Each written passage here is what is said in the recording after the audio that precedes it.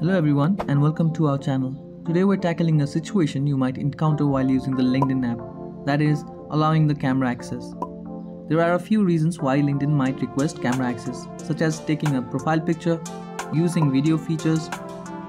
In this video, we'll show you how to grant permission to LinkedIn app. Firstly, open the settings app on your Android phone.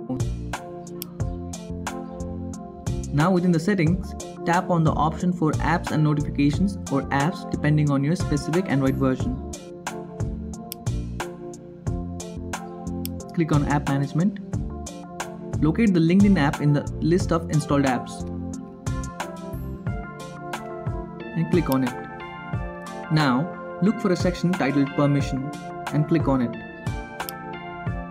Now find the permission for camera and make sure it's turned on.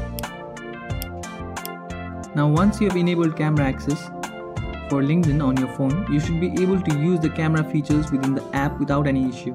This could include taking a new profile picture, recording a video introduction, or using any other features that requires camera functionality. Now there you have it. Now you know how to grant camera access for the LinkedIn app on Android phone. Remember, you can always revisit the settings to adjust permissions if needed. If you have any questions about using the camera features within LinkedIn, leave a comment below. Don't forget to like and subscribe for more tech tutorials.